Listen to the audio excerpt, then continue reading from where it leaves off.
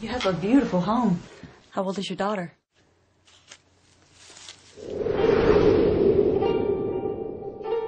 I'm not dead. You're not dead. We're still alive. I drive over here every day because my nutcase sister can't walk down her own driveway. Wish you wouldn't smoke in the house. I'm not in the house, I'm in the garage. I got this convention in New Orleans. Meatball po'boy to go. Thanks. Here you go, babe. I got it. I got it. You work in a strip club. How old are you? 15?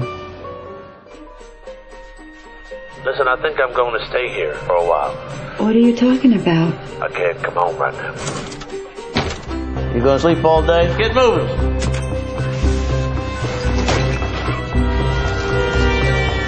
Doug, I'm here. You're in New Orleans.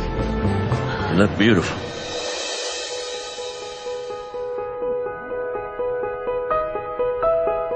There's uh, someone that I want you to meet. Got a lot of names because she works in a strip club. Lois, this is Mallory. Hey, how you doing? Hold up! She's run away from Florida. You're crazy! Then go lock yourself up in your damn house again. So it's your job to take care of her? Why not? You tell me what you want, Doug. Pretend some runaway stripper's your daughter? Got any kids? We had a daughter. She died in a car accident. That sucks.